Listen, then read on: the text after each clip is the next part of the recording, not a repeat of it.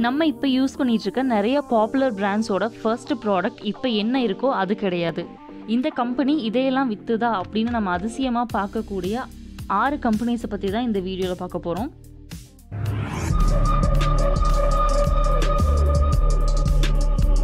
நம்ம பார்க்க போகிற ஃபர்ஸ்ட் பிராண்ட் நோக்கியா இது ஒரு ஃபின்னிஷ் கம்பெனி நம்மளுக்கு சின்ன வயசுலலாம் நோக்கியானா செல்ஃபோன் செல்ஃபோன்னா நோக்கியா அப்படின்னு தான் இருப்போம்.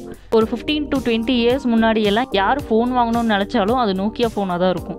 ஒரு காலத்தில் மொபைல் ஃபோன் பிஸ்னஸில் ரொம்ப சக்ஸஸ்ஃபுல்லாக இருந்த இந்த நோக்கியா வந்து முதல் முதலாக ப்ரொடியூஸ் பண்ண ப்ராடக்ட் செல்ஃபோன்ஸ் கிடையாது. எயிட்டீன் சிக்ஸ்டி ஃபைவ்ல இந்த கம்பெனி ஸ்டார்ட் ஆனப்போ அவங்க ப்ரொடியூஸ் பண்ண ப்ராடக்ட் வந்து paper printing paper and toilet paper தான் இவங்க முதல் முதல்ல செஞ்ச ப்ராடக்ட்ஸ் அதுக்கப்புறமா இவங்க ரப்பர் மேனுஃபேக்சரிங் எலக்ட்ரிக் கேபிள்ஸ் இதெல்லாமே ப்ரொடியூஸ் பண்ண ஆரம்பித்தாங்க நைன்டீன் எயிட்டி செவனில் தான் கிட்டத்தட்ட நைன்ட்டி இயர்ஸுக்கு அப்புறம் தான் இவங்களோட ஃபர்ஸ்ட் மொபைல் ஃபோனே ப்ரொடியூஸ் பண்ணாங்க. அடுத்ததான் நம்ம பார்க்க போகிற கம்பெனி சோனி இது ஒரு Japanese company electrical and electronic products அதிகமாக செல் பண்ணிட்டு இருக்க சோனி கம்பெனியோட first product electrical rice cooker nineteen ஃபார்ட்டிஸில் இதை ப்ரொடியூஸ் பண்ணாங்க.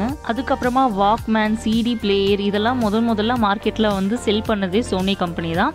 அதுக்கப்புறம் இப்போ வந்து நிறைய mobile phones gadgets PlayStation வரைக்கும் எல்லாமே செல் பண்ணுறாங்க நம்ம பார்க்க போகிற தேர்ட் கம்பெனி அமேசான் இது எவ்வளோ பெரிய பில்லியன் டாலர் கம்பெனின்னு எல்லாருக்குமே தெரியும். நம்மள நிறைய பேர் அமேசானுக்கு ஏதாவது ஒரு விதத்தில் ஒரு கஸ்டமராக தான் இருப்போம். ஏதாவது ஒரு அமேசான் ஆப்பாவது நம்ம எல்லாரும் ஃபோன்லேயுமே இருக்கும். ஆனால் இந்த அமேசானோட ஃபர்ஸ்ட் ப்ராடக்ட் வந்து புக்ஸ் எஸ் அமேசான் ஸ்டார்ட் ஆன காலத்தில் ஆன்லைனில் புக்ஸ் செல் பண்ணிட்டு இருந்தாங்க ஆனால் இப்போது அமேசானில் நம்மளால் வாங்க முடியாத பொருளே இல்லை அப்படிங்கிற மாதிரி டெவலப் ஆயிட்டாங்க. அண்ட் நம்ம பார்க்க போகிற ஃபோர்த் கம்பெனி சாம்சங் சாம்சங் வந்து ஒரு கொரியன் கம்பெனி இவங்களோட ஃபர்ஸ்ட் ப்ராடக்ட் என்னன்னு கேட்டால் ஷாக் ஆயிருவீங்க.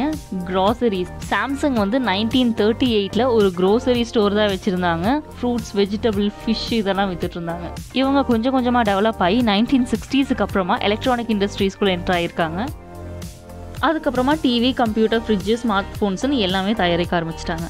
நம்ம பார்க்க போகிற ஃபிஃப்த் கம்பெனி டொயோட்டா டொயோட்டா வந்து ஒரு ஆட்டோமொபைல் கம்பெனியாக நம்ம எல்லாருக்குமே தெரியும். இது ஒரு ஜாப்பனீஸ் கம்பெனி ஆனால் இது ஆட்டோமொபைல்ஸ் எல்லாம் வந்து மேனுஃபேக்சர் பண்ணுறதுக்கு முன்னாடி நைன்டீன் தேர்ட்டி செவனில் வந்து இவங்க எப்படி ஸ்டார்ட் பண்ணாங்கன்னா பவர் லூம்ஸ் வச்சு ஆட்டோமேட்டிக் பவர் லூம்ஸ் இந்த நேம் டொயோட்டாங்கிறது ஆக்சுவலாக டொயோடா அப்படிங்கிற நேம்ல இருந்து தான் வந்தது. டொயோடா அப்படிங்கிற நேம்க்கு என்ன மீனிங்னா ஒரு மிஷின் வந்து அதில் ஏதாவது ஃபால்ட் வரும்போது தானாகவே ஸ்டாப் ஆயிரும் அப்படிங்கிற மீனிங் தான். அப்போ இவங்களோட இந்த லூம்ஸ் எல்லாம் ஒர்க் ஆகும்போது லூம்ஸ்னால் ஃபஸ்ட்டு த்ரெட்டை வந்து ஃபேப்ரிக்காக மாற்றக்கூடிய மிஷின் அந்த மிஷினில் வந்து ஏதாவது ஒரு மிஸ்டேக் ஆகுது அப்படின்னா உடனே அந்த மிஷின் வந்து ஒர்க்கிங்கை ஸ்டாப் பண்ணிடும் அதனால் த்ரெட்டும் வேஸ்ட் ஆகாது.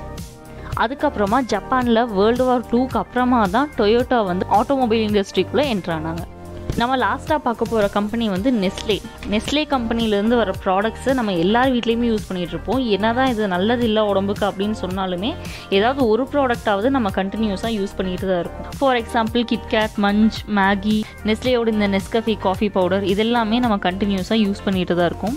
எப்படி நோக்கியாவில் செல்ஃபோன்னாலே நோக்கியா தான் அப்படிங்கிற மாதிரி நம்மளுக்கு நூடுல்ஸ்னாலே மேகி தான் அப்படிங்கிற மாதிரி ஒரு எமோஷன் மாதிரி ஆயிடுச்சு இந்த நெஸ்லே வந்து ஒரு சுவிட்சர்லாந்து கம்பெனி இவங்களோட ஃபர்ஸ்ட் ப்ராடக்ட் என்னன்னா பேபி ஃபார்முலா பேபி ஃபார்முலானா பிரெஸ்ட் மில்க் கிடைக்காத குழந்தைங்களுக்கு அதோட ஆல்டர்னேட்டிவாக கிடைக்கிற மில்க் பேக்கேஜ்டு மில்க்கு தான் வந்து பேபி ஃபார்முலா இதுதான் இவங்களோட ஃபர்ஸ்ட் ப்ராடக்ட் அதுக்கப்புறமா கண்டென்ஸ்டு மில்க்குன்னு மில்கில் நிறைய ப்ராடக்ட்ஸ் இவங்க பண்ண ஆரம்பித்தாங்க இதுதான் நான் சொன்ன ஆறு பாப்புலரான பிராண்ட்ஸ் இது தவிர உங்களுக்கு வேறு ஏதாவது பிராண்ட்ஸோட ஃபர்ஸ்ட் ப்ராடக்ட் என்னன்னு தெரிஞ்சதுன்னா அதை கமெண்ட் பண்ணுங்கள் வீடியோ பிடிச்சிருந்தா லைக் பண்ணுங்கள் சேனலை மறக்காமல் சப்ஸ்கிரைப் பண்ணிடுங்க பாய்